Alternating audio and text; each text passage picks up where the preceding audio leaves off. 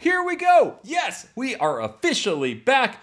Welcome and good morning. It is another episode of Get Up and Get Rad with Kipper, a daily YouTube video series where we run down all the different things that you can be excited about on a daily basis. It is Thursday, February 17th, and we've got a lot to be excited about, so let's get into it.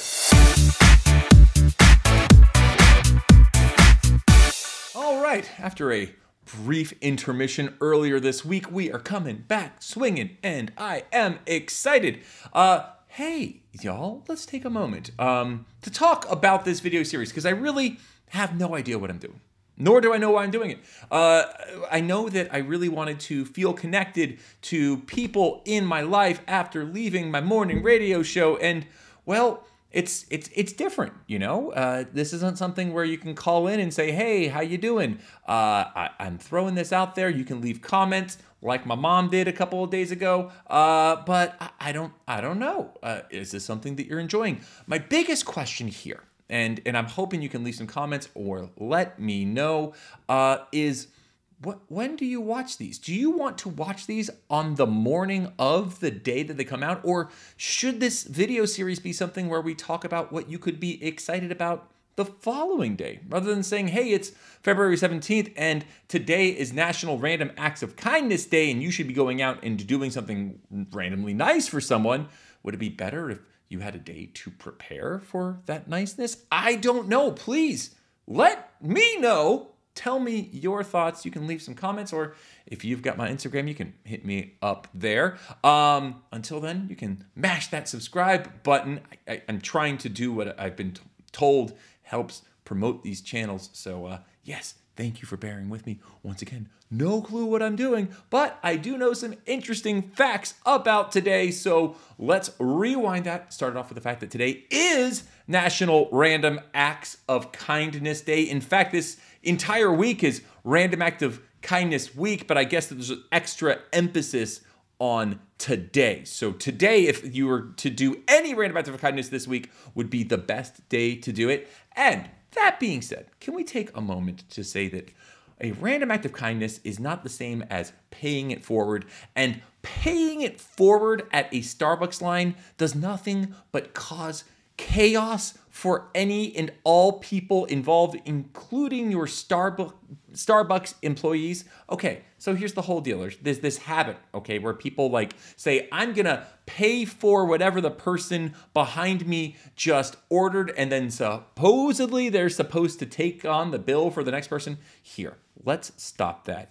Um, instead, may I say that uh, get in line in person and perhaps offer to pay for the person in front of you, okay? It's less, a lot less chaotic, and that person has the ability to say, I don't know, because this whole paying it forward thing only works out uh, as long as people want to do it. And what if you get stuck with an entire entire office order worth of Starbucks and your entire bank account sees a prime dip due to this uh, extension in this this need, this necessity to keep things going? Okay, that's me getting off my soapbox. We have a lot more to talk about because today is also Pluto Day.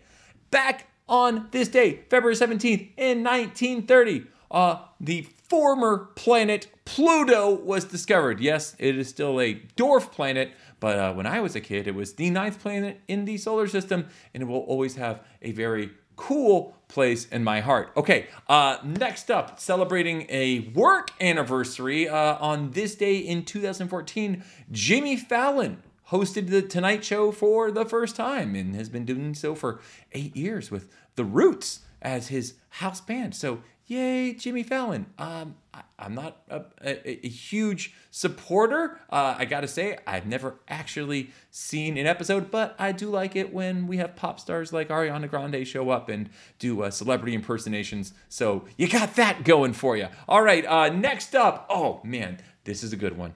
Um, this this is important because uh, on this day in 1989, Bill and Ted's Excellent Adventure had its debut in theaters. Wyld Stallyns. Okay, um, let's talk more about this because there's a very interesting fact involved with this movie. Because there's this famous prop, okay? A telephone booth that Bill and Ted use to travel through time. And you may think that, oh, that phone booth is perhaps at Universal Studios or maybe some very lucky planet Hollywood. No, friends, that original phone booth prop was given away as a promotional prize by Nintendo Power in 1991. Yes, there was an absolutely awful Nintendo game based on Bill and Ted's Excellent Adventure, uh, and in order to promote it, they gave away the original prop. Um, I, have seen playthroughs of this video game. It's mostly silent except for some sound effects and completely bizarre in its gameplay. Don't go hunting out a ROM of this. You're going to regret it. It's not good. But some guy had the uh, got the got the original phone booth and they tracked them down on Reddit and even had a very awkward ask me anything with with the guy. Um, that's something that will live in internet infamy forever. Okay, so uh, that's uh, that. It's February 17th. We've got more things to be excited about tomorrow, and it'll be a weekend as well. Until then, get up, get rad, get out there, and get awesome.